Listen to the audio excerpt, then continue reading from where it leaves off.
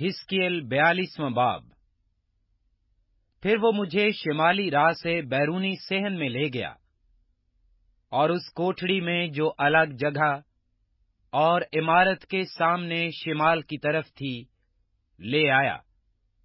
سو ہاتھ کی لمبائی کی جگہ کے مقابل شمالی دروازہ تھا اور اس کی چوڑائی پچاس ہاتھ تھی۔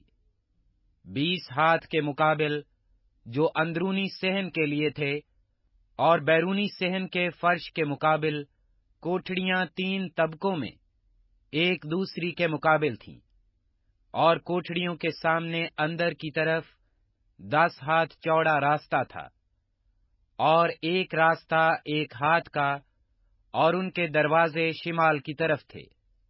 اوپر کی کوٹڑیاں چھوٹی تھیں کیونکہ ان کے برامدوں نے عمارت کی نچلی اور درمیانی منزل کے مقابلہ میں ان سے زیادہ جگہ روک لی تھی، کیونکہ وہ تین درجوں کی تھیں، لیکن ان کے ستون سہن کے ستونوں کی مانند نہ تھے، اس لیے وہ نچلی اور درمیانی منزل سے تنگ تھیں اور کوٹڑیوں کے پاس کے بیرونی سہن کی طرف کوٹڑیوں کے سامنے کی بیرونی دیوار پچاس ہاتھ لمبی تھی، کیونکہ بیرونی سہن کی کوٹڑیوں کی لمبائی پچاس ہاتھ تھی، اور ہیکل کے مقابل سو ہاتھ کی لمبائی تھی، اور ان کوٹڑیوں کے نیچے مشرق کی طرف وہ مدخل تھا جہاں سے بیرونی سہن سے داخل ہوتے تھے۔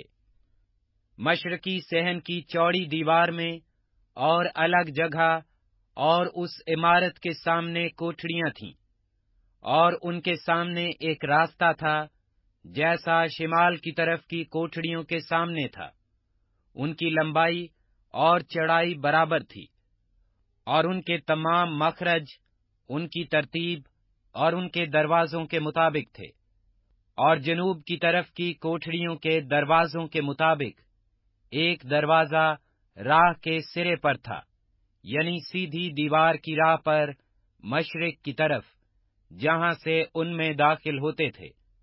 اور اس نے مجھ سے کہا کہ شمال اور جنوب کوٹڑیاں جو الگ جگہ کے مقابل ہیں، مقدس کوٹڑیاں ہیں جہاں کاہن جو خداون کے حضور جاتے ہیں، اقدس چیزیں کھائیں گے۔